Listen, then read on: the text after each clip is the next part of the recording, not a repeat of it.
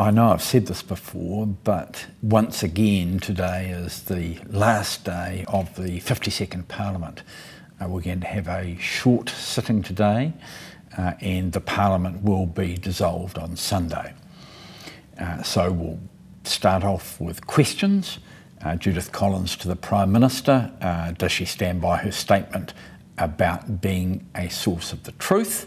Uh, Marama Davidson to the Minister for Social Development about the winter energy payment, Judith Collins to the Minister of Finance uh, about the package of stimulatory initiatives, Shane Reti to the Minister of Health about whether he stands by his statements and actions around coronavirus, uh, Greg O'Connor to the Minister of Finance, um, uh, what recent reports has he seen on the New Zealand economy, uh, Shane Reti to the Minister of Health uh, about border testing, uh, Paul Goldsmith to the Minister of Finance uh, about decision making processes uh, for funds allocated from the COVID fund, uh, Megan Woods to the Minister responsible for the Earthquake Commission about recent announcements on government policy, Nicola Willis to the Associate Minister of Finance about the Green School and Whaitiri to the Minister of Employment uh, about assisting the rangatahi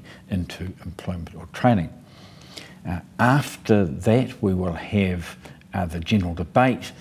Um, it will be uh, 12 five minute speeches, and today it will be led uh, by a five minute speech uh, from an opposition member.